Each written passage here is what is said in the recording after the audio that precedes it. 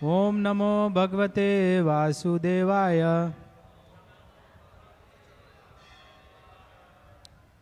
हरे कृष्णा तो आज हम पढ़ेंगे भगवत गीता से अध्याय तेरह और श्लोक संख्या तीस। श्लोक बोर्ड पे दिख रहा है, आप लोग साथ में उच्चारण कर सकते हैं।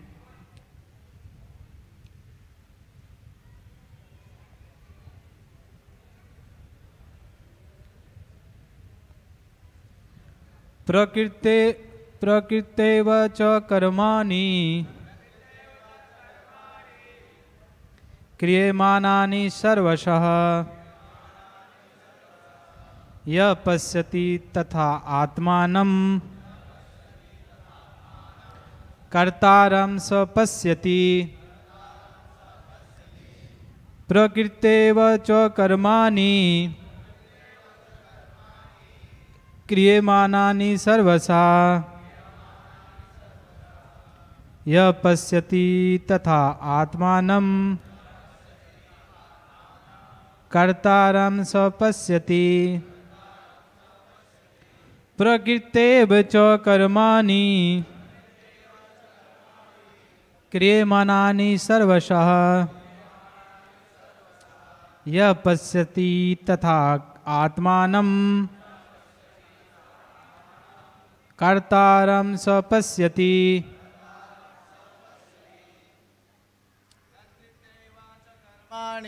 प्रकृतेव च कर्माणि। क्रियमाणानि सर्वशः। यः पश्यति तथात्मानं। पश्यति तथा आत्मानं। कर्तारं स पश्यति कर्तारं स पश्यति प्रकृतेव च कर्माणि क्रियमाणानि सर्वशः। यः पश्यति स आत्मानं। कर्तारं स्वपश्यति प्रकृतेव च कर्माणि क्रियमाणानि सर्वशः।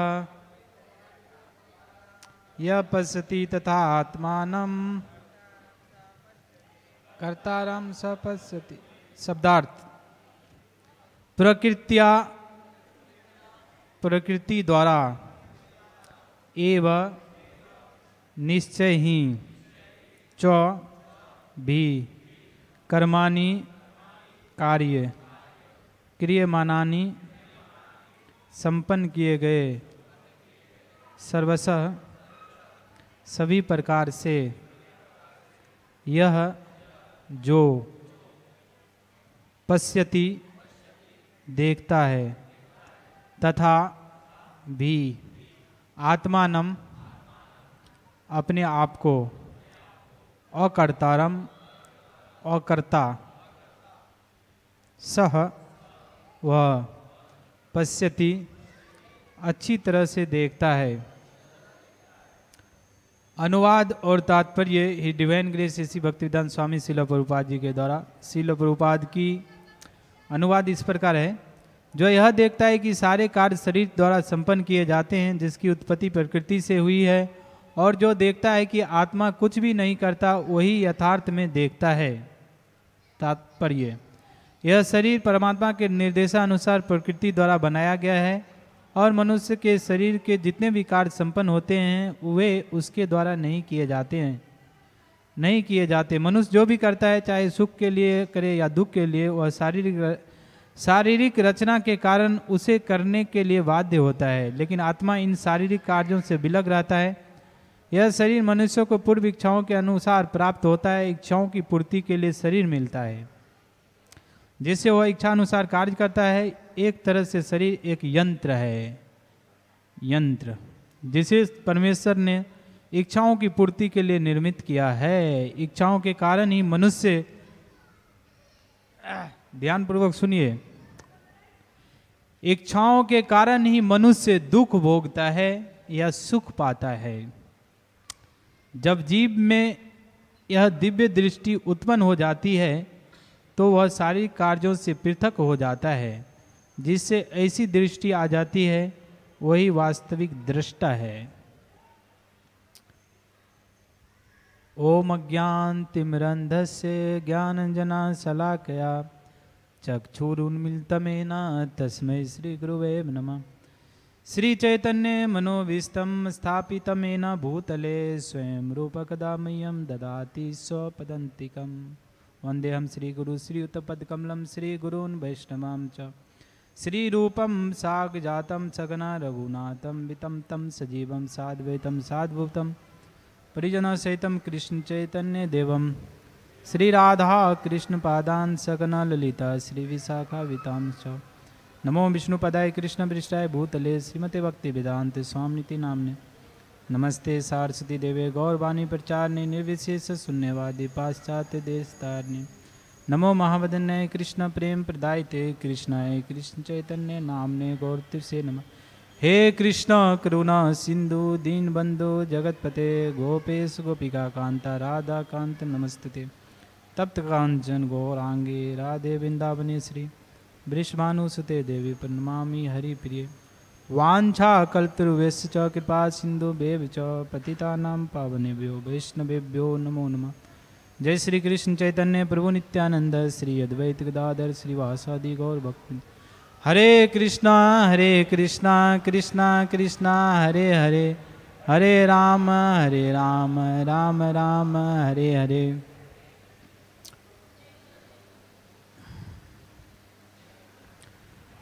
हरे कृष्णा, अनुवाद मेरे पीछे दोहराइए। जो यह देखता है कि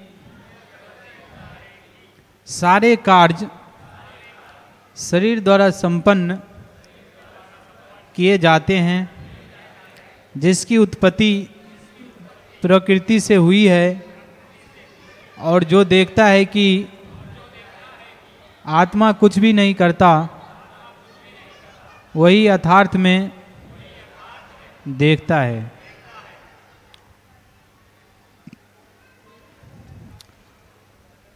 तो इस श्लोक में बताया गया है कि प्रकृति के बारे में बात हुई है और शरीर के बारे में बात हुई है और किसके बारे में बात हुई है? आत्मा के बारे में। और किसके बारे में बात हुई है? भगवान के वही, भगवान के बारे में भी बात हुई है। यहाँ पे भगवान शब्द कहाँ पे आया है? प्रकृतिव चौ। चौ जो शब्द है इस श्लोक में, वह परमात्मा को सूचित करता है। इस श्लोक में बताया गया कि जो आ, जो शरीर जो है ना शरीर यह भौतिक प्रकृति के द्वारा प्रदान की गई है। और यह शरीर भौतिक प्रकृति के द्वारा प्रदान किया गया है। और ये जो कार्य करता है वह कार्य कौन करते हैं? शरीर करते हैं। जिसको परमात्मा करवा रहे हैं। यहाँ पे चौ का शब्द है, परमात्मा। तो एक तो शरीर है, शरीर नश्वर होता है, और आत्मा जो है, वो नश्वर नहीं होता है। यह बात को समझना ही आध्यात्मिक जीवन का पाला सीढ़ी है। शरीर और आत्मा में भेद जानना। तो शरीर नश्वर होता है, यह सभी को पता है। और आत्मा जो है, अमर होता है, वो नश्वर नहीं होता है। तो शरीर हो गया, आत्मा हो गई और परमात्मा। परमात्मा आत्म, परमात्मा के अंश होने के कारण आत्मा भी शाश्वत है, क्योंकि भगवान शाश्वत है, इसके लिए आत्मा भी शाश्वत है। और आत्मा इस शरीर में कैद है। आत्मा क्या है? यह शरीर में आत्मा कैद है। जैसे पिंजरे में अगर आप पैरट को, तोता को अगर कैद कर देते हैं तो पिंजरा को अगर आप शरीर मान लेंगे तो तोता आत्मा हो जाएगी। तो आत्मा जो है, ये शरीर में कैद है। और यहाँ पे बताया गया कि जो ऐसा देखता है, आत्मा, परमात्मा, शरीर, ये सब में भेद को जो देख देख पाता है। वो एक्चुअली में ज्ञानी है। ज्ञानी का मतलब 99 परसेंट लोग प्रभुपाद जी बोलते हैं कि कलयुग में जो है, वो शारीरिक अवधारणा पे है। शरीर के आधार पे अपने आप को पहचान करता है। लेकिन जो शरीर के आधार पर पहचान करता है अपने आप को तो उसकी तुलना शास्त्रों में किससे की गई है?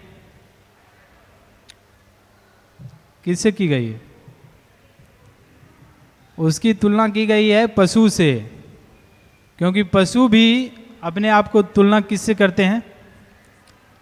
शरीर से ही करते हैं। तो शरीर से हमको ऊपर निकलने के लिए ज्ञान की ज़रूरत है। और वो ज्ञान कैसे प्राप्त होगा? अगर हम भगवत गीता पढ़ेंगे तो। तो भगवत गीता यहाँ पे मिल रहा है। जिसके पास भगवत गीता नहीं है, वो बाहर जाके भगवत गीता ले सकते हैं। और उसको पढ़िए, तब ये सब ज्ञान आएगा। नहीं तो किसी को कुछ नहीं पता है, शरीर, कोई व्यक्ति मरता है तो आत्मा किधर जाती है? यह किसी को कुछ नहीं पता है। समझ गए? यह पता कब चलेगा? जब भगवत गीता एक व्यक्ति पढ़ेगा, तब पता चलेगा। कैसे पता चलेगा?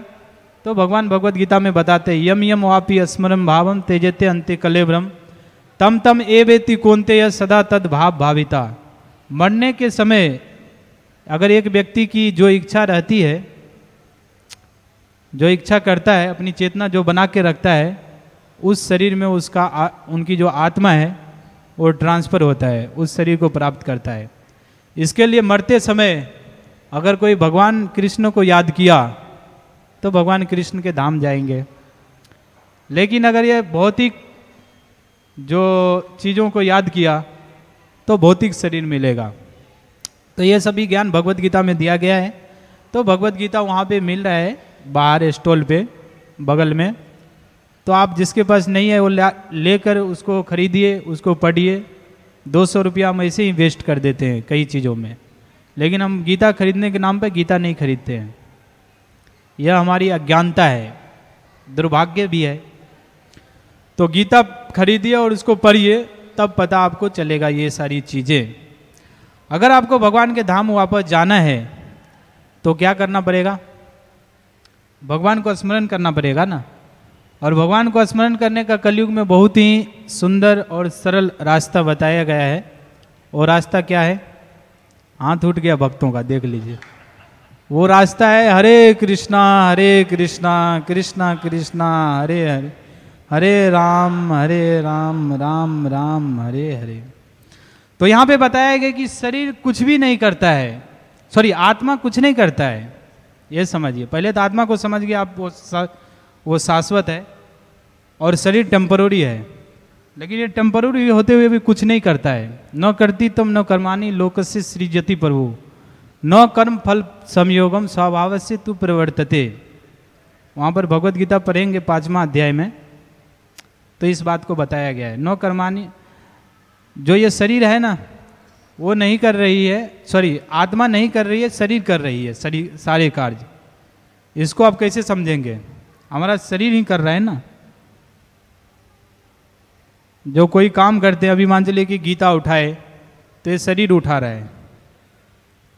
लेकिन इसके अंदर जो है, आत्मा ये कार्य नहीं कर रहा है। जैसे परा प्रकृति होता है, प्रकृति, एक परा प्रकृति होता है और एक अपरा प्रकृति होता है। तो जो अपरा प्रकृति है अपरा प्रकृति के अंदर कौन आता है? आत्मा। आत्मा को समझिए। आत्मा परा प्रकृति के अंदर आता है सॉरी अपरा प्रकृति परा हाँ परा, और अपरा प्रकृति के अंदर शरीर आता है। तो जो आत्मा है, वो आत्मा शरीर में ये अपरा प्रकृति के साथ बहुत अनंत काल से रहने के कारण अपने आप को पहचान कर रहा है किसके साथ? ये शरीर के साथ। आत्मा और शरीर में अंतर। जैसे आप बोलेंगे कि ये मेरा हाथ है, ये आपका हाथ है ना, लेकिन आप किधर है? तो जो आप है, वो आत्मा है। तो ये आत्मा, ये शरीर के अंदर जो है, आया है और आने के कारण जो कार्य जो हो रहा है इस शरीर के द्वारा उससे वो अपने आप को पहचान करता है। लेकिन वो कार्य आत्मा नहीं करती है। जैसे आप होटल में जाते हैं तो होटल में जाने के बाद आप क्या करते हैं? आपके पास जो है मेन्यू रखा जाता है। फ़ूड मेन्यू होता है ना? तो फ़ूड मेन्यू देखते हैं और उसको जो है आप देख के टिक कर देते हैं और आप बैठे रहते हैं। लेकिन आपके पास जो है, जो फ़ूड जो फ़ूड को आपने सेलेक्ट किया जो भोजन को, वो भोजन जो है वहाँ के होटल के जो वर्कर है, वो आपको आकर लेकर दे देता है। आपने कुछ नहीं किया, लेकिन आपने एक चीज़ ज़रूर किया। इच्छा किया। वही इच्छा को बदलना है। जो इच्छा जब करते हैं ना ये अथा माम प्रपदंतेश, ताम तथे तथे भजाम्य हम तो इच्छा जो है, भगवान की प्राप्ति के लिए करना पड़ेगा। भगवान के धाम जाने के लिए करना पड़ेगा, तब हम भगवान के धाम जाएँगे। अगर इच्छा आपने किया कि हमको जो है मुंबई शहर में रहना है अच्छा खासा फ्लैट भी है, सब कुछ है, अपने घर में अच्छे से रहेंगे, कोई टेंशन नहीं है तो फिर उसी घर में दोबारा जन्म लेना पड़ेगा। समझ गए? लेकिन वो घर में आप जन्म लेंगे, लेकिन इस शरीर में नहीं लेंगे। क्योंकि अगर जो व्यक्ति ये शरीर से भक्ति नहीं करता है, उनको यह शरीर नहीं दिया जाता है। उनको जो है, ये शरीर त्यागने के बाद दो प्रकार की शरीर मिल सकता है। एक भौतिक शरीर और एक आध्यात्मिक शरीर। तो भौतिक शरीर में चौरासी लाख योनियों में कोई एक शरीर मिलेगा और आध्यात्मिक शरीर मिलेगा तो भगवान के धाम वो व्यक्ति जाएगा। तो आध्यात्मिक शरीर कैसे मिलेगा? जब हम आध्यात्मिक इच्छा करेंगे तब। अगर हम भौतिक इच्छा करेंगे तो हमको भौतिक शरीर मिलेगा। तो वो जीव जो है, यहाँ पे इच्छा किया, और इच्छा किया तो जो है फैसिलिटी दिया गया। हम इच्छा जब करते हैं तो ये इच्छा इच्छा द्वेष समुत्थेना द्वंद्व में ना भारत, सर्गे यान्ति परंतप, बोलते हैं ना? जो ये भौतिक संसार को भगवान ने बनाया है, क्यों बनाए हैं? इच्छा और द्वेष। हमने इच्छा किया आनंद लेने का। यहाँ पे बताए, तात्पर्य में देखिए, इच्छा के अनु, इच्छा के, इच्छाओं के अनुसार यहाँ पे बताया गया है कि इच्छा की पूर्ति के लिए शरीर मिलता है। अगर इच्छा करेंगे कि मेरे को मांस खाना है तो प्रकृति के द्वारा जो है, चीता और सिंह जो लाइन होता है, उसका शरीर रखा हुआ है। तो अगर इच्छा करेंगे कि हमको क्या करना है? भगवत गीता पढ़ना है। तो भगवान आपको ऐसे अरेंजमेंट करेंगे कि आप भगवत गीता क्लास में बैठे हैं। क्योंकि आपने कभी ना कभी इच्छा किया कि हमको गीता सुनना है। तो गीता सुनने का जो फल मिलेगा, वो फल जो है परमानेंट मिलेगा। लेकिन भौतिक जो इच्छा करने की जो फल होती है, वो टेम्पररी होती है और मिजरी और दुखदायक होते हैं। ते दुखदायक होता है और वो यहाँ पे प्रभा जी लिखते हैं कि वो जो व्यक्ति है, उनको वो दुख फोर्स पूर्वक उनको भोगना पड़ता है। ये शरीर जो मिलता है ना, ये शरीर, ये भी बात को समझना ज़रूरी है। ये शरीर जन्म से लेकर और एंड तक केवल और केवल दुख ही देता है। समझ समझ भगवत गीता में भगवान कहते हैं, चतुर्विद्या भजनते माम जन सुकीर्तना अर्जुना आर्थो आर्थ आर्थो तो जो वहाँ वहाँ पे डिस्ट्रेस वाला व्यक्ति एक आता है भगवान के पास। तो अगर दुख से भी कोई व्यक्ति समझ लिया कि संसार में बहुत दुख है तो भी अगर भगवान के पास आएगा तो धीरे धीरे जो है शुद्ध होगा और शुद्ध भक्ति करके भगवान के पास वापस जा सकता है। तो हमको समझना पड़ेगा, इस संसार में जो है समझना क्या? यह है ही, दुख है, दुखाले और शाश्वतम। तो ये जो सब सब, जब शरीर मिलता है तो हमको दुख भी मिलता है साथ में। समझ गए? जैसे कोई व्यक्ति फोर्स टू एक्सेप्ट मिजरीस बलपूर्वक। यहाँ पे बताएगा, बलपूर्वक दुख दिया जाएगा। बलपूर्वक कैसे दुख मिलेगा? जैसे कोई भी व्यक्ति बीमारी नहीं चाहता है तो बीमारी उसको आता है ना? तो बलपूर्वक ही आता है ना? कोई तो व्यक्ति ऐसा चाहता है, मेरे को कैंसर हो जाए। कोई भी ऐसा व्यक्ति नहीं है कि जो वो सोचता है कि मेरे को कैंसर हो जाए। तो उनको कैंसर होता है फिर भी तो बलपूर्वक, कोई भी व्यक्ति नहीं चाहता है कि हमको बुढ़, वृद्ध अवस्था वृद्ध शरीर को प्राप्त करूँ, लेकिन उसको प्राप्त करना पड़ता है। वो शरीर में भी बहुत दुख है। तो भौतिक प्रकृति के द्वारा फोर्स किया जाता है जीव पे, उनको दुख भोगने के लिए।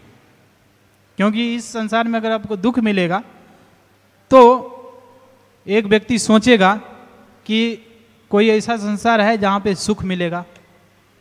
तो वो संसार किधर है? वो संसार है आध्यात्मिक संसार। भगवान कृष्ण के लोक, वैकुंठ लोक, जहाँ पे कुंठ नहीं है। तो वो संसार जानने के लिए क्या करना पड़ेगा? हरे कृष्णा हरे कृष्णा कृष्णा कृष्णा, हरे हरे हरे राम हरे राम राम राम, हरे हरे। ये गीता क्लास समाप्त होगा। आप हर चीज़ को भूल सकते हैं। दो चीज़ को याद रखिएगा। क्या याद रखना है? हरे कृष्णा महामंत्र को पूरे ज़िंदगी में, और भगवत गीता पढ़नी है। ठीक है, ये हरे कृष्णा महामंत्र इसके लिए बीच बीच में उच्चारण करवा रहा हूँ। तो ये हरे कृष्णा महामंत्र को अगर आप एक व्यक्ति जप करता है तो वो दुखदायी शरीर नहीं मिलेगा। आध्यात्मिक शरीर में ये चार प्रकार की बीमारी नहीं है। जन्म, मृत्यु, जरा व्याधि, ये नहीं है।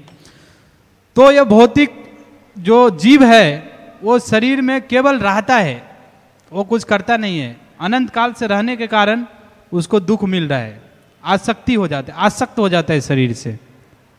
अगर उस अपने आप को शरीर से पृथक मानेगा तो उसको दुख नहीं होगा। जो साधु संत है जो आ, आत्मा के लेवल पे है परम पुरुष जैसे प्रभुपाद जी तो उनको अगर भौतिक कोई दुख मिलता है तो उनको पता नहीं चलता है। क्योंकि वो भौतिक चीज़ से अपने आप को पृथक मानते हैं। बोलते, ये शरीर नहीं कर रहे ना दत्ते कश्चित पापम, न चैव न सुकृतिम विभुम। बोलते हैं ना, पांचवा अध्याय में एक श्लोक आता है, नैव नैव किंचित क्रोमिति युक्तो मन्य तत्वित पश्यन श्रीव्यन अस्पृशन, जिघ्रन अस्नन गच्छन स्वपन शोषण प्रलोपन विसृजन, गृहणन उन्मिनिशन निमिशन अपि इंद्रियानी इंद्रियार्थेशु वर्तते इति धारयना। वो बोलते थे देख रहे हैं ना आँख देख रहा है। बोल रहे हैं, ये मुँह बोल रहा है। लेकिन अंदर में आत्मा जो है, ये नहीं ऐसा कर रहा है। ये आत्मा जो है इंद्रियानी इंद्रियार्थेशु वर्तनते इति धारणा उसकी धारणा क्या रहती है? इंद्रिय इंद्रिय जो है, आँख, कान, नाक, वो अपने अपने कार्य में लगा हुआ है। तो यह जीव जो है फंस चुका है। कैसे फंस चुका है? जैसे भवसागर में। जैसे भवसागर होता है ना, भवसागर। उसमें अगर नाव लेके जाएँगे कोई तो वो जैसे जो बीच में अभी जाइएगा, और आपको हेलीकॉप्टर से जो है, वो बीच में जाकर छोड़ देंगे। तो अगर तैरने के लिए नहीं आया तो डूब जाएँगे। उसी प्रकार अगर भगवत गीता का ज्ञान नहीं रहेगा तो इस संसार में डूब जाएँगे। साधु संग नहीं करेंगे भक्तों का संग नहीं करेंगे तो संसार में डूब जाएँगे। तो अभी कोई व्यक्ति को तैरने के लिए आता है, मान चले दूसरा स्थिति में तो तैरेगा, निकलने का प्रयास करेगा समुद्र से। लेकिन निकलने के प्रयास करेगा बट वो समुद्र का लहरें भी है ना तो लहरें उसको टॉपसी टर्वी लहरें आएगा ऊपर नीचे वाले तो उनको ऊपर करेगा, फिर नीचे करेगा। समुद्र में आप लोग नहाए होंगे, जगन्नाथपुरी आप लोग जाइए कभी। और जगन्नाथपुरी में बहुत ही सुंदर समुद्र है। उधर अगर आप नहाएँगे तो आपको नहाने का भी फल मिलेगा मतलब भौतिक इच्छा भी पूर्ण होगी और आध्यात्मिक भी फल मिलेगा। तो उधर लहरें आती है और आपको, आप लहरे के भीतर थोड़ा अगर जाएँगे तो आपको उठाकर बाहर फेंक देगा, किनारे में दे देगा, फिर एक लहरे आएगा आपको किनारे से निकाल कर ले जाकर फिर समुद्र में डाल देगा। तो लहरे वो जीव को क्या कर रहा है? आत्मा को इधर से उधर उठा पटक कर रहा है। लेकिन वो जीव, वो व्यक्ति जब तक समुद्र में रहेगा, उसको वैसी स्थिति में रहना पड़ेगा। तो ये भौतिक संसार में जो जो लहरें हैं, वो सुख दुख का ऐसे भोगना पड़ेगा। लेकिन वो व्यक्ति को अगर खुश होना है तो उसको समुद्र से बाहर निकलना पड़ेगा। और समुद्र से बाहर निकलेंगे तो किनारे में आ जाएगा। तो उनको लहरें उनको तंग नहीं करेंगे। लहरें से इफ़ेक्ट नहीं होगा, प्रभावित नहीं होगा। तो समुद्र से बाहर कैसे निकलेंगे? हरे कृष्णा हरे कृष्णा कृष्णा कृष्णा, हरे हरे। हरे राम हरे राम राम राम, हरे हरे।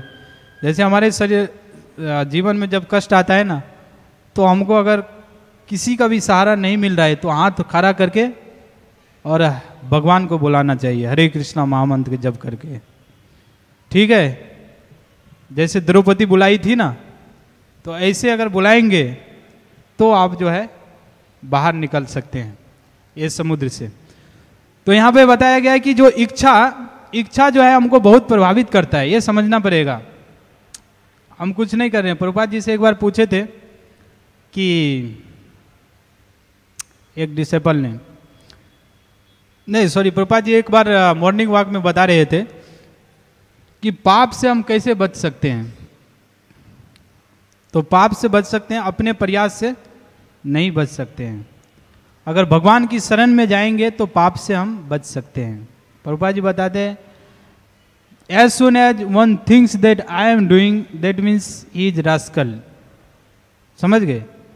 तो अगर करेंगे, हम कर रहे हैं तो हम उसी समय में क्या बन जाते हैं? मूर्ख बन जाते हैं। एक्चुअली में सभी काम जो है भगवान कर रहे हैं। ठीक है, जीव की इच्छा के अनुसार।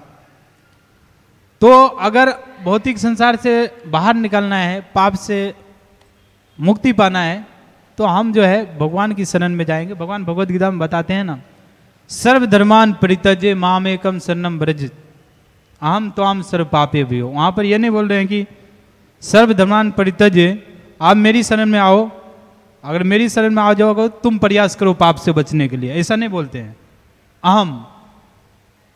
हमारा ड्यूटी है राधा रासबिहारी के शरण में आना। और राधा रासबिहारी के कार्य क्या है? सभी पापों से हमको मुक्त करना। वो हमारा कार्य नहीं है। अगर हम सोचेंगे हम करते हैं तो फिर प्रकृति क्रिया माना नहीं गुण कर्मानी सर्वसा। अहंकार बिरूढ़ा आत्मा करता हम इति मन्यते। तो वहीं पे हम जो है अहंकारी हो जाते हैं। समझ गए भक्त? जब भी अगर हम करते हैं तो भी हमने इच्छा किया तो भगवान जो है फैसिलिटी प्रदान कर रहे बोलते, अपने आप मन से भगवान कृष्ण के नाम अपने जीवा पर नहीं ला सकते हैं। समझ गए? फोर्स पूर्वक आप इच्छा करेंगे, भगवान स्वतः आपके जीवा पे आएँगे हरे कृष्णा महामंत्र के रूप में। तब हरे कृष्णा महामंत्र का जब कोई व्यक्ति कर सकता है। तो इच्छा को बदलना पड़ेगा। जैसा कि एक स्टोरी एक मिनट में बताता हूँ। जैसे एक बार क्या हुआ था कि आ, एक एक बेस्या थी ठीक है? और एक ब्राह्मण था। तो बेस्या का घर कहाँ था? और ब्राह्मण के घर से आगे। जैसे एक रोड मान लीजिए आप। ये रोड मान लीजिए। यहाँ पे एक ब्राह्मण का घर है यहाँ पे एक बेस्या का घर है। तो बेस्या क्या सोचती थी? और बेस्या भी ब्राह्मण को देखती थी और ब्राह्मण भी बेस्या को देखते थे। लेकिन ब्राह्मण सोचते थे कि देखो बेस्या का ज़िंदगी कितना अच्छा है। ठीक है। अपना जो है अलग अलग पुरुष के साथ उनको संग करने का अवसर प्रदान हो रहा है। तो इनका ज़िंदगी कितना अच्छा है। और वो बेस्या उधर से क्या सोचती थी कि ब्राह्मण का ज़िंदगी कितना अच्छा है। ये सतोगुण में लगा हुआ है। हम यहाँ पे पाप कर रहे हैं। तो ऐसे सोचते सोचते दोनों की ज़िंदगी कटी और जब दोनों की मृत्यु हुई तो ब्राह्मण को क्या हुआ? अगले जन्म में वैश्य बनना पड़ा। चलो ठीक है, लेकिन प्रभुपा जी बोलते हैं कि ब्राह्मण को जो है यमदूत लेने के लिए आए और वैश्या का सदगति हुआ। तो अगर हम जिस चीज़ के बारे में इच्छा करते हैं पूरे ज़िंदगी, चाहे शरीर कहीं भी है, वहाँ पे जो है वो शरीर हमको मिलता है और वही हमको गति होती है। इसके लिए हमको हमेशा हरे कृष्णा महामंत्र जप करने की इच्छा करनी चाहिए। हरे कृष्णा हरे कृष्णा कृष्णा कृष्णा, हरे हरे हरे राम हरे राम राम राम, हरे हरे। हरे कृष्णा, हरे कृष्ण, बोलिए सभी लोग, हरे कृष्णा हरे कृष्णा कृष्णा कृष्णा, हरे हरे हरे राम हरे राम राम राम, हरे हरे। हरे कृष्णा हरे कृष्णा कृष्णा कृष्णा, हरे हरे। हरे राम हरे राम राम राम, हरे हरे। हरे कृष्णा हरे कृष्णा कृष्णा कृष्णा, हरे हरे। हरे राम हरे राम राम राम, हरे हरे। हरे कृष्णा हरे कृष्णा कृष्णा कृष्णा, हरे हरे। हरे राम हरे राम राम राम, हरे हरे। हरे कृष्णा हरे कृष्णा कृष्णा कृष्णा, हरे हरे। हरे राम हरे राम राम राम, हरे हरे। जय श्री श्री राधा रास बिहारी भगवान की। श्री श्री सीताराम लक्ष्मण हनुमान जी की। श्री श्री गौर निताय जी की। शील प्रभुपाद की। धन्यवाद आप सभी को।